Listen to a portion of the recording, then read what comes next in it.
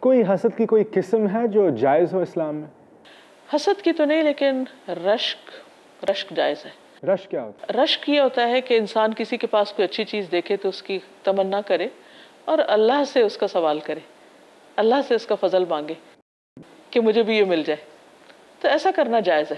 اللہ تعالیٰ خود قرآن پاک میں فرماتے ہیں وس اللہ من فضلی اللہ سے اس کا فضل مانگو۔